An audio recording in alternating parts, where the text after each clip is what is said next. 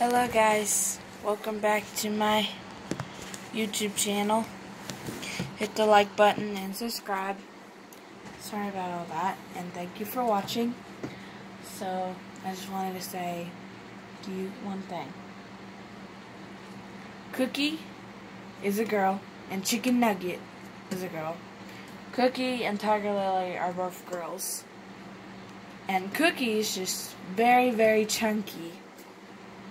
She was never pregnant in her whole life that I know of.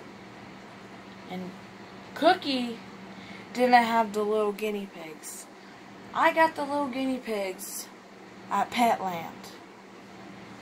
So, hmm.